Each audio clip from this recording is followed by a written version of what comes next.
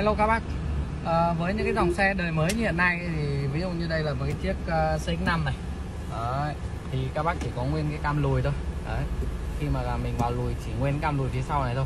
Đấy, xi nhan trái xi nhan phải không có đúng không ạ? Đấy, Giải pháp cho các bác là muốn sử dụng để quan sát về nước như cam cặp lề á. Đấy, Nhưng mà cái này nó sẽ tiện hơn các bác nhé. Đây, Đấy, các bác lắp một cái bộ uh, cam 3 mắt thì nó sẽ tích hợp thêm ba cái mắt nữa. Đây Đấy, nó sẽ có thêm ba cái mắt này mắt này là tích hợp vào phía trước này.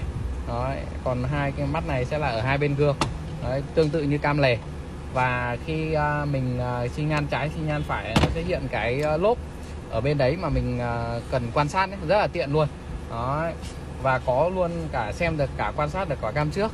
Đó thì uh, các bác hãy chờ sau khi mà em uh, lắp đặt hoàn thiện chiếc này em sẽ quay uh, uh, sau khi hoàn thiện lên cho các bác xem nhé và đây là kết quả sau khi mà bên em đã lắp uh, xong chiếc cam 3 mắt cho chiếc xe ờ, uh, CX-5 này các bác này đây, vào lùi thì các bác vẫn có hình như bình thường thôi Đó.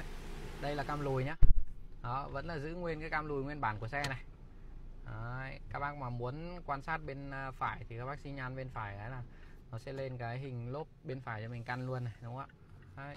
bên trái này xi nhan trái thì nó sẽ lên cái uh, lốp bên trái vế bên trái cho mình căn này. Các bác có thể đánh lái này thấy không? Các bác phải thấy cái cái um, lốp của mình quay như thế nào. Rồi cái bây giờ mà ví dụ đỗ phía trước mà nó sát quá mình muốn căn bên trái này đá vào một cái này. Đấy ngay tức là nó sẽ lên cái uh, cam đằng trước.